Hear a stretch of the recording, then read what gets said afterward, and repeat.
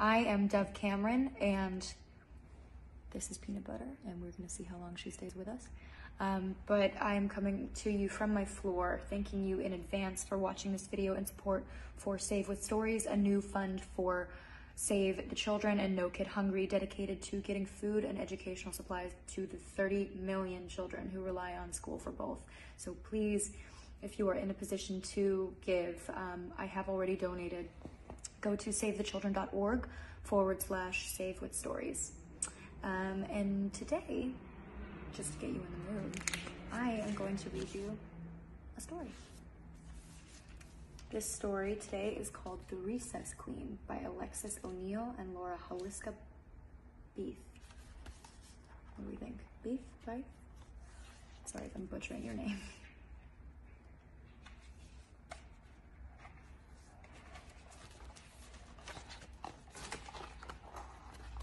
What do we think? I gotta keep that up. Mean Jean was Recess queen. Nobody said any different.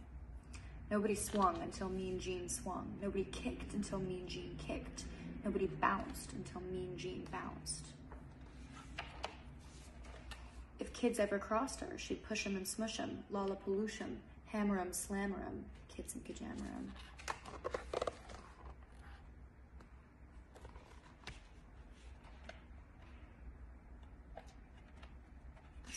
Looks. Say what? Mean Jean growled. Say who? Mean Jean howled. Say you. Just who do you think you're talking to? Mean Jean always got her way. Until one day.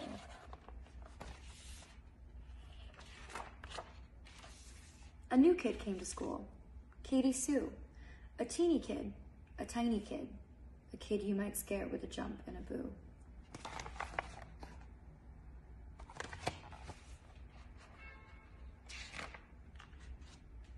But when the recess bell went ringety ring, this kid ran zingety zing for the playground gate. Katie Sue swung before Mean Jean swung. Katie Sue kicked before Mean Jean kicked. Katie Sue bounced before Mean Jean bounced. The kid you might scare with a jump and a boo was too new to know about Mean Jean, the recess queen. Well, Mean Jean bullied through the playground crowd. Like always, she pushed kids and smushed kids, lollapalooshed kids, hammered 'em, slammered 'em, kits and kajammered 'em, as she charged after that Katie Sue.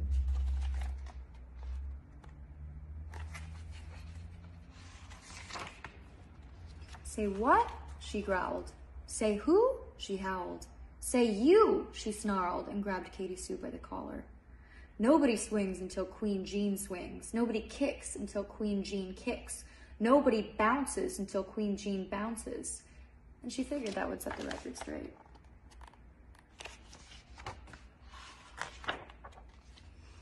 She figured wrong. Katie Sue talked back, just as sassy as could be. She said, How did you get so bossy? That puny thing, that loony thing, grabbed the ball and bounced away. Oh, Katie Sue was one quick kid. She bolted quick as lightning. Bouncity, bouncity, bounce. Kickity, kickity, kick. Swingity, swingity, swing.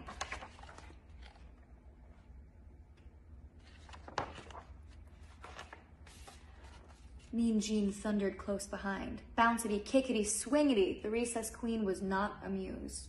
She raced and chased and in your face that Katie Sue. No one spoke. No one moved. No one breathed. Then from her pack pulled Katie Sue a jump rope clean and bright. Hey, Jeannie Beanie, sang Katie Sue. Let's try this jump rope out. Here's one thing true. Until that day, no one dared ask Mean Jean to play. But that Katie Sue just hopped and jumped and skipped away. I like ice cream. I like tea. I want Jean to jump with me.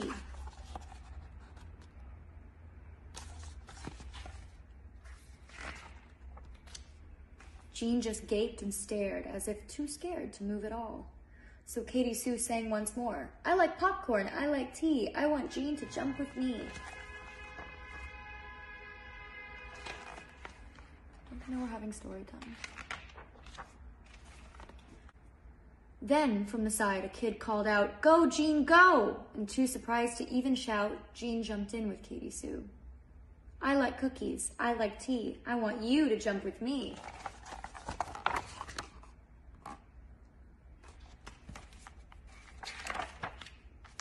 The rope whizzed and slapped faster, faster. The rope spun and flapped faster, faster, till it caught in a tangled disaster. But they just giggled and jumped again.